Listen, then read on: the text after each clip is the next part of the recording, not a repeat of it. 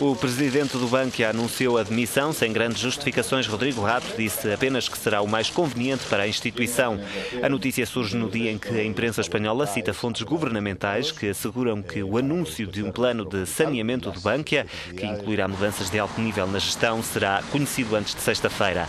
Rato deixa simultaneamente a presidência do Banco Financeiro e de Poupança, casa-mãe do Bankia, nascida da união entre a Caja Madrid, a Bancaja, a Caja Segovia e outras entidades.